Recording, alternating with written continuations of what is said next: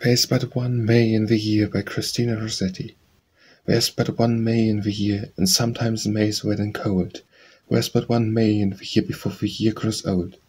Yet though it be the chilliest May, with least of sun, most of showers, Its wind and dew, its night and day, bring up flowers.